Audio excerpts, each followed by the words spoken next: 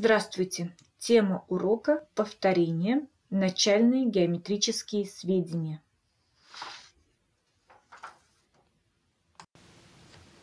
Посмотрите на рисунке. Точка А лежит на прямой А, точка Б не лежит на прямой А. Через любые две точки можно провести прямую и при том только одну – Точка B лежит между точками А и С. АС равно АБ плюс БС.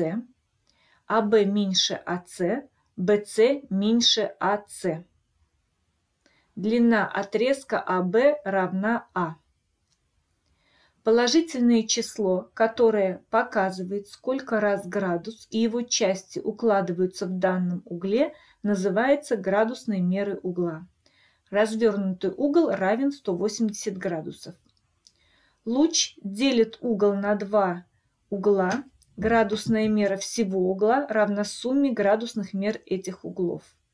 То есть угол АОБ равен угол АОС плюс угол СОБ. На любом луче от его начала можно отложить отрезок, равный данному, и при том только один. От любого луча в заданную сторону можно отложить угол, равный данному, и при том только один. Углы. Угол АБС равен 90 градусов и называется прямым углом. Острый угол – это угол, который больше 0 градусов, но меньше 90 градусов. Тупой угол – это угол, который больше 90 градусов, но меньше 180 градусов. Развернутый угол – это угол, если его обе стороны лежат на одной прямой, то есть являются продолжением одна другой. Развернутый угол равен 180 градусов.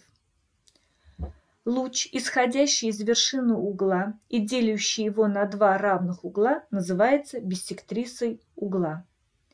Луч ОД биссектриса угла АОБ. То есть АОД угол равен углу ДОБ. Смежные углы. Два угла, у которых одна сторона общая, а две другие являются продолжением одна другой, называются смежными. Угол 1 и угол 2 смежные. Сумма смежных углов равна 180 градусов. То есть угол 1 плюс угол 2 равно 180 градусов. Вертикальные углы.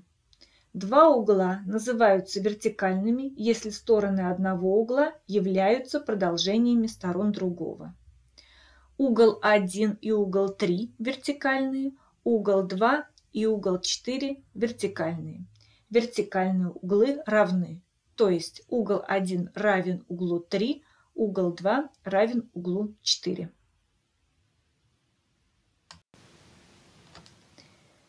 Дальше на слайдах представлены задачи.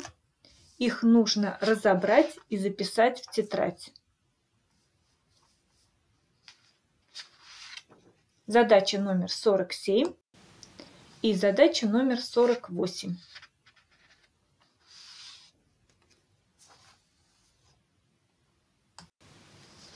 Задание для самостоятельной работы.